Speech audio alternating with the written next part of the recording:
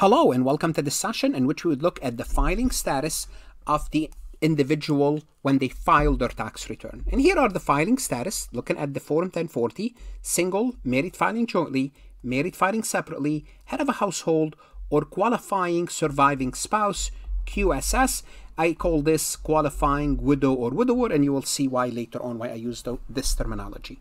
Now, I just want to show you here because since I am looking at the tax return, it says here, if you checked married filing separately, if you happen to be filing married filing separately, enter the name of your spouse. So the name of your spouse goes here because you're filing, sep- you're filing separately from them, they're filing separately from you.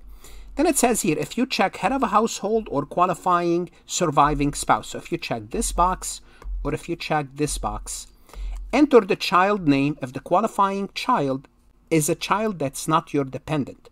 So what happens sometimes is to qualify under head of a household or qualifying surviving spouse, you have to have what's called a qualifying child. Now this qualifying child may or not be your dependent. Most likely will be your dependent. But if they are not your dependent, put their name here.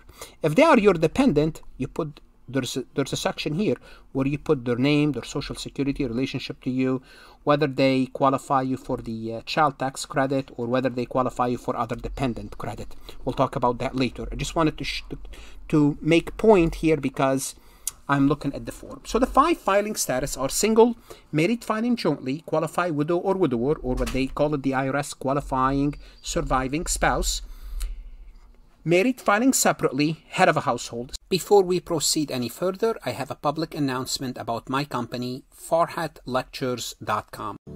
Farhat Accounting Lectures is a supplemental educational tool that's going to help you with your CPA exam preparation as well as your accounting courses.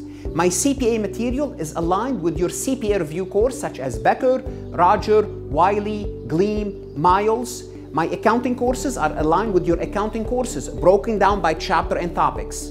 My resources consist of lectures, multiple choice questions, true false questions, as well as exercises. Go ahead, start your free trial today, no obligation, no credit card required.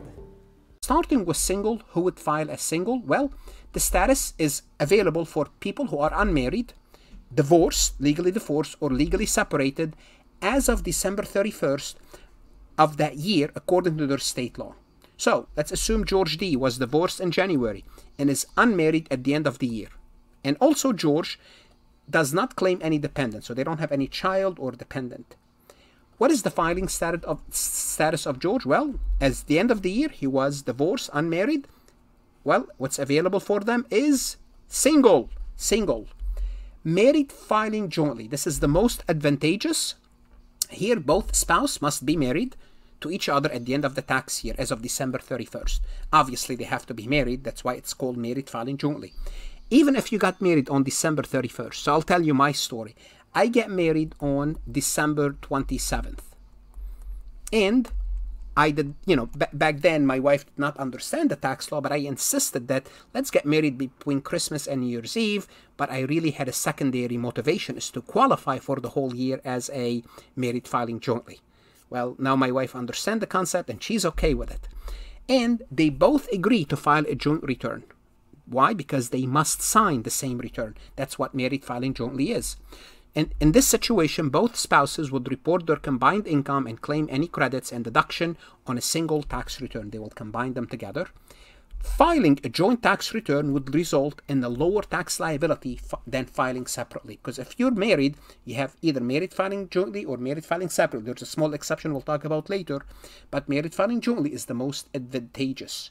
Okay, so if one person during the year passes away, then for that year you are considered married for the whole year. So let's assume in year X1 we have a couple and one of the they're married filing jointly and one of them passed away it's still married filing jointly for that year, assuming X1. Now, we're going to have another qualifying uh, status called qualifying widow or widower or qualifying surviving spouse. That's what the IRS likes to use.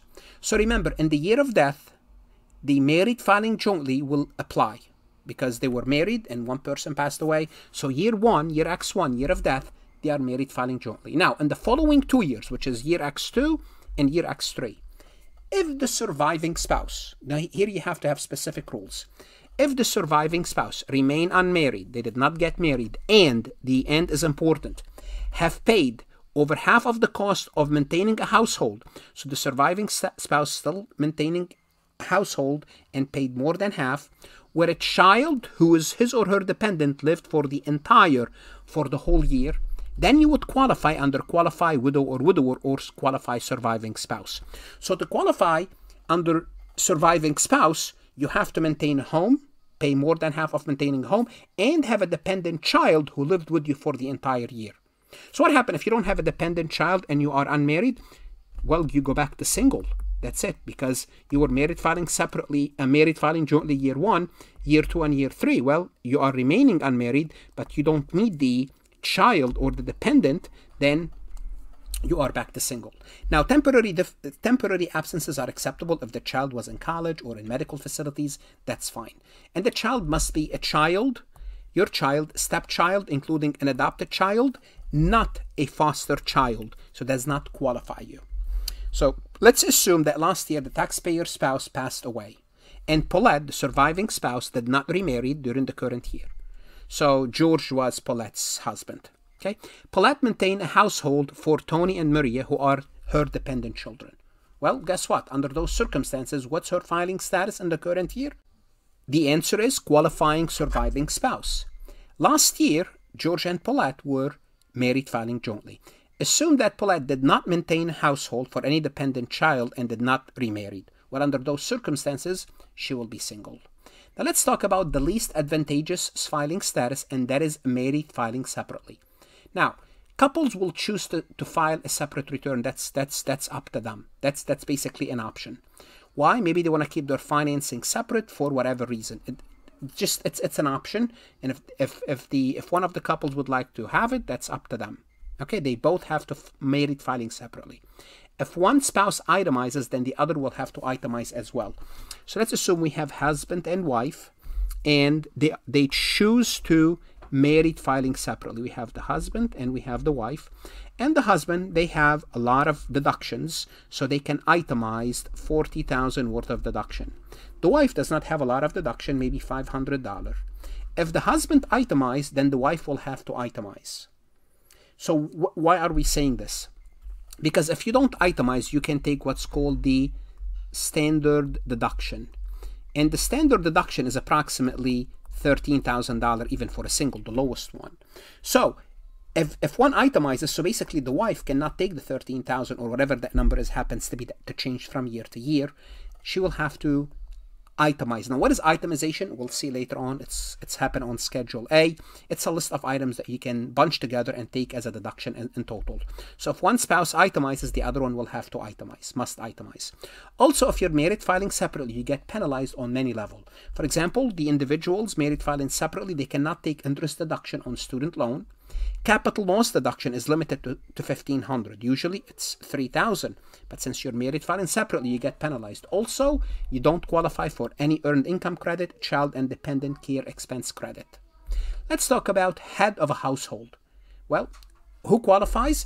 You have to be unmarried because remember, if you are married, if you are married, you have two options. You have married filing jointly or married filing separately. So head of a household you have you are unmarried as of the last day of the year. There's a small exception which I mentioned earlier called abandoned spouse. I will talk about on the next slide. And so you have to be unmarried and maintain a home household which where you paid more than half of the cost of maintaining that household.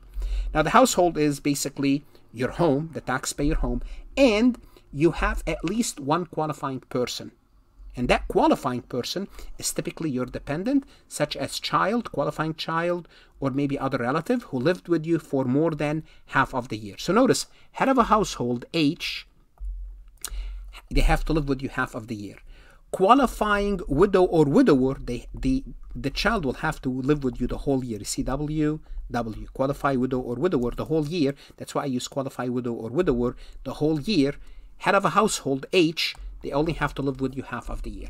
They have to be either your qualifying child, we're going to look at a separate recording, or qualifying relative, we're going to look at a separate recording. What's qualifying child, what's qualifying relative?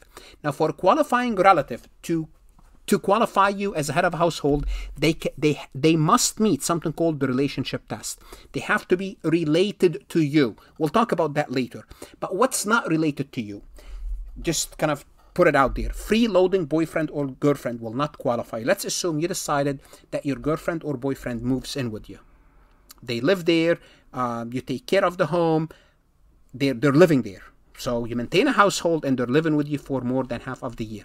Well, they don't qualify you because they don't meet the relationship test. Well, let's assume you're a irresponsible friend or friends. You have an extra room, they lost their job, and they're asking you if they can live with you. That's fine, they can live with you, but they are just friends. They don't qualify you as a head of a household for the for this qualification. Now your parents they will qualify you and they don't have to live with you. Remember, head of a household is the idea is you're maintaining a home and the person that you are taking care of is living with you for more than half of the year. Your parents can live in another home and as long as you are taking care of them, then they are considered your qualifying relative then that's fine. They don't have to live with you. Just it's an exception.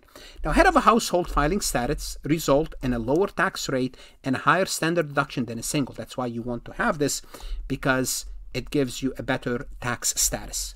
Now, let's talk about abandoned spouse because when I talked about head of a household, I said you have to be considered unmarried or abandoned spouse. And what is an abandoned spouse? An abandoned spouse is someone who has been separated from their spouse either physically or financially without their consent. Let's just say physically to make it easy. So basically the person disappear. Now, to qualify as an abandoned spouse, a taxpayer must generally meet the following criteria. The taxpayer must have lived from their spouse for the last six months of the year. So the past six months, that's it. You you don't know where they are. You know they're not in touch with you. The taxpayer must have paid for more than half of the cost of maintaining a household for the taxpayer. So simply put, you are maintaining a household you are maintaining a house for yourself, you're paying more than 50% of the cost, and the taxpayer must have a dependent child that you can claim who lived with them for more than half of the year. Remember, this is it's going to take you to head of a household. So, so what are we talking about here? Here we're talking about single parents, single mom or single uh, father who are taking care of their ch- child or children, where the other person, where their spouse, just basically you know took over. This is what we're talking about here. So remember, since the other spouse is not there, they cannot they cannot file married filing jointly because you need to sign the return and the spouse is physically is not there. And and you can, your other option is married filing separately, but it's really disadvantageous for the taxpayer. So the Congress said if you meet those criteria, those three criteria here, your spouse is away, you know, disappeared for the past six months, you are paying to maintain a household, and you have a child in that household, then we would allow you to qualify as a head of a household because we don't want to penalize you and force you to married filing separately because that's your alternative. So this is why we have an exception for the abandoned spouse. So in this recording, what I did, I went through the five filing status, single, married filing, jointly, married filing separately, head of a household, qualified widow or widower, or qualifying surviving spouse. The only thing I did, really did not get into, and I said I will, will, will look at a separate recording, is what is a qualifying child and what's a qualifying relative, because that's important when it comes to head of a household, when it comes to determine your dependency, your dependency and certain credit. I will do this in a separate recording. What should you do now? Go to Farhat Lectures and look at additional true false MCQs, exercises that's going to help you understand this important topic, the filing status of the taxpayer. Think about it. If you're taking the CPA exam and you don't understand this concept, I really don't want you to pass the exam as an individual, right? And the AICPA will not allow you to pass. So those are easy points that you can pick up on the exam or on your enrolled agent exam. And if you're taking a tax course, by all means, you want to know this and get an A. I'm always here for you. Invest in yourself, invest in your career. Good luck and stay safe.